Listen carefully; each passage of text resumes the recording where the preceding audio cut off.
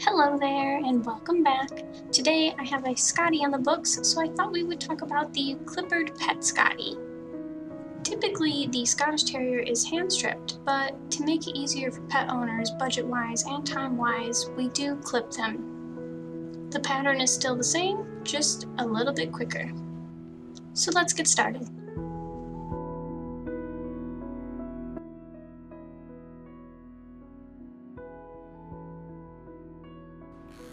Like all of our grooms, we want to make sure that all of our prep work is done. Bath, blow dry, sanitary, nails, and pads. The Scottish Terrier doesn't get a tight sanitary trim in its show trim, and typically you don't need to do it on the pets unless the owner requests it because they have gross potty areas or they think that they're hot and a nice short belly will keep them cool. Once we're done with the prep work, we're going to work on the body. I'm going to use a 1 guard comb today, which is also a half an inch or 13 millimeters. I typically never go shorter than a 4 guard comb, which is equivalent to a 5 blade. Our blend line is going to start at the elbow here, and it's going to work its way up towards the tail set. Our blend line should be smooth with no apparent stops or lines. I'm going to take my clippers right up here to the ear, which is the start of the flat work, and I'm going to bring it straight down to that elbow.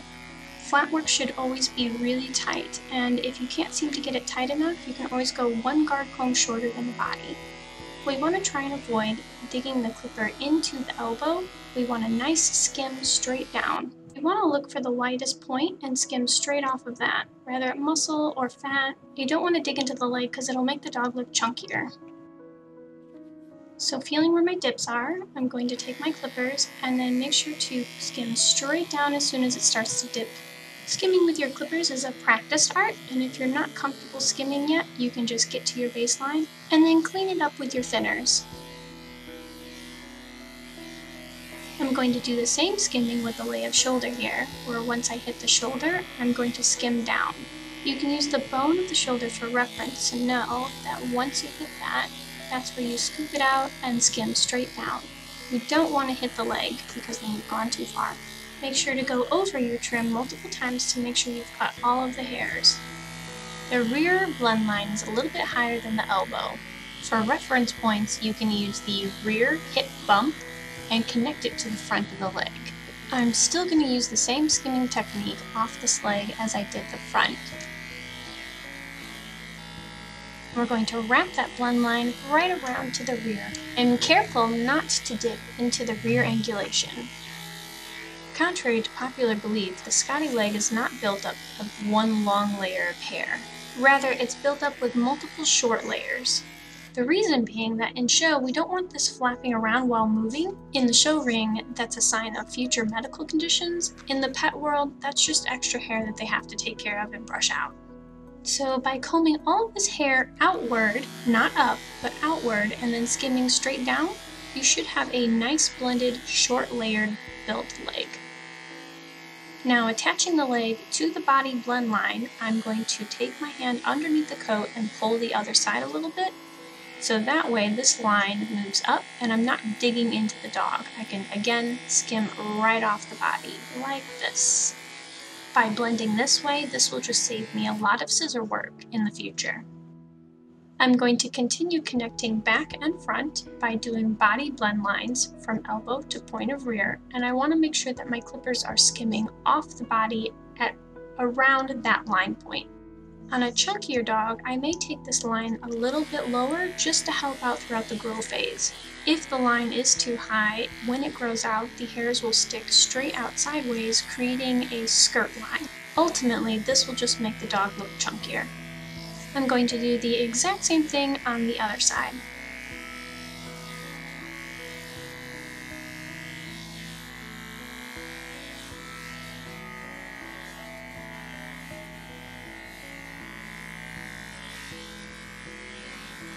Again, when doing the rear, make sure you're scooping off of that shelf and not digging into this rear angulation. Make sure that the tail is up and you can feel the slope right down the bones here. She has a really nice one. And have your clippers fall straight off that shelf. Typically, the two little colics that sit back there, you won't go past those.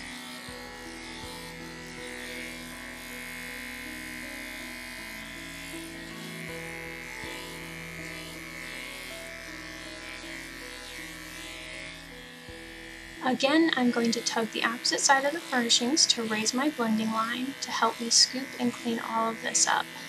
Remember, when giving that other side a tug, you are raising your blending line, so be sure to keep that in mind. With our clipper work done, I'm going to set down the clippers and I'm going to start preparing all of my scissor work. I always start with the rounding of the foot. With my curved shears here, I'm going to make sure that I cut anything out that sticks out past the pad. Most of this has been picked up with my prep work when I was cleaning out the pads, but I always want to double check to make sure it gives me a very pretty bevel. It's important that you do your nails before you do your bevel. Shorter nails will offer a tighter bevel, and if you trim the nails after your bevel, then you're going to have a lot of extra hair. With my curves here, I'm just going to follow the rounding of her foot. When you have a lot more hair to trim, I usually start with the very front of the toes and then make my cuts all the way around. Now I'm going to clean up the bevel with some curved thinners. This will help clean up any harsh lines I've made with scissors and give it a more natural blended look.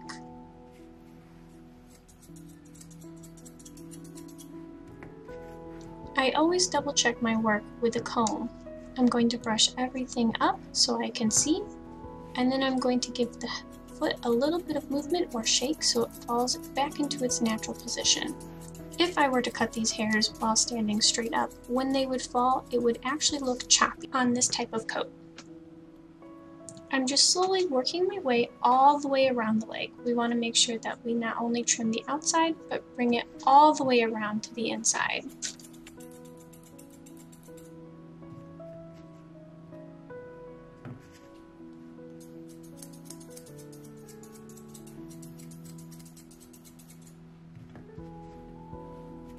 Once the inside hairs have been all trimmed, I'm just going to slightly pick this foot up and I'm going to scissor towards that tuck up. Be careful not to pick the foot up too high because then you'll trim off too much hair in the knee area. While Daisy was moving, I noticed a few hairs that stuck out and I want to make sure this hock hair here curves right into her rear angulation, so I'm going to trim that up a little bit tighter.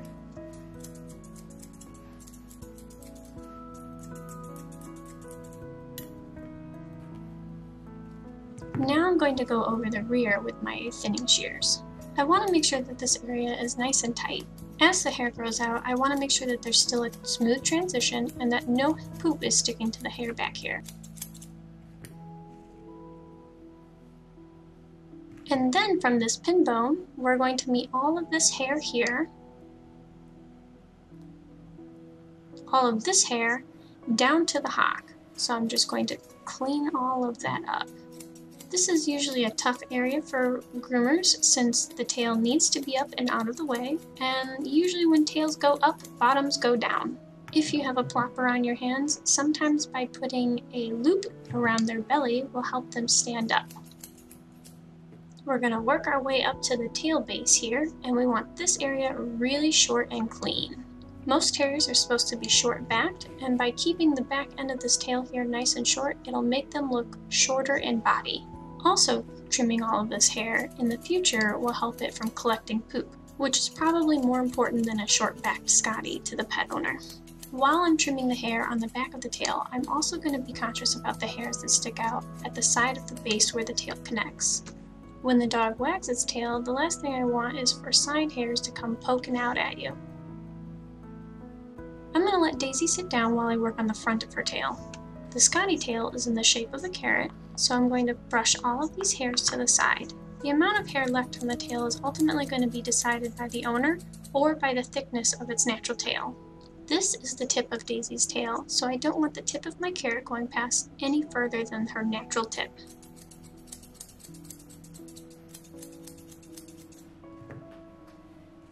Now I'm going to do the same side combing of her tail and I'm going to trim any excess hair off there. Remember, I'm going for a carrot shape, so I want the base of the tail wider than the tip of the tail. For speed purposes, you could always take a guard comb over the tail, but the reason why I don't tend to do that is because not all tails are built the same.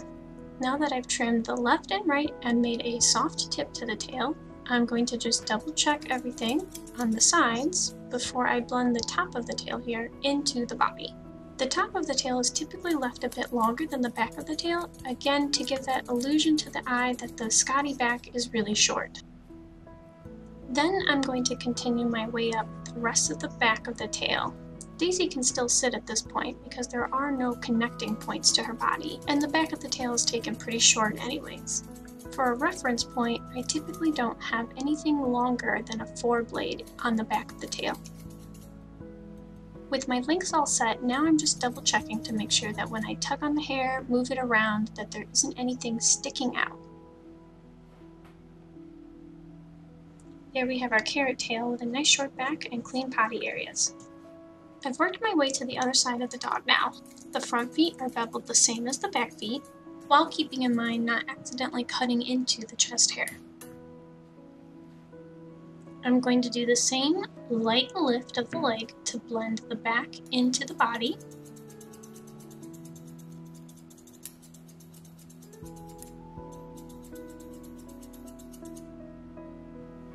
And then I'm going to comb down all of these furnishings so they lay nice and flat, and then I'm going to trim the line at the bottom. The length of the skirt is really going to be determined by your legs.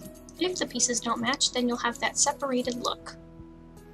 I like to use my hand to slightly press onto the skirt so that way I can see the hairs underneath. This will help give a more natural look versus the really blunt, harsh scissored look. We're going to keep scissoring the underline towards the chest. I'm going to pick the dog's leg up in a forward, natural position and I'm going to make sure that this chest line meets in with the underline.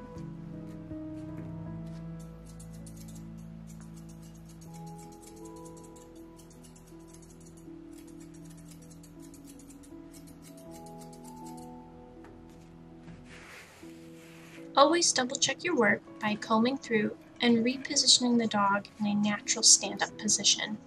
This will help me double check to make sure that the front of the chest is meeting the same line behind the leg. If the dog isn't standing in its natural position, then we won't really know if those two lines meet up. So I'm going to comb down and double check to make sure that all of these lines meet up with each other.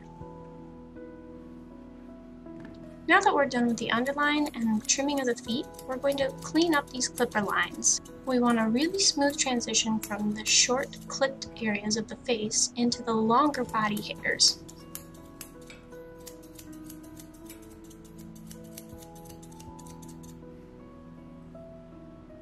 You want to make sure that you're grabbing any of those clipper lines that you made from the corner of the ear all the way down to the chest with a nice smooth blend into your flat work. Once everything is smooth, then we're going to put the final touches to finish our groom.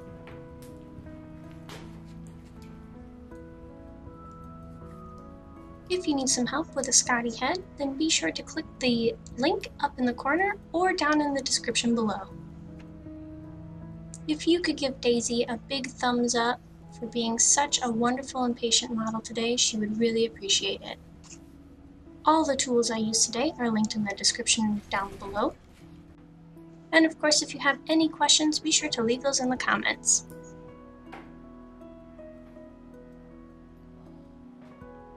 Thanks for joining us today, and until next time.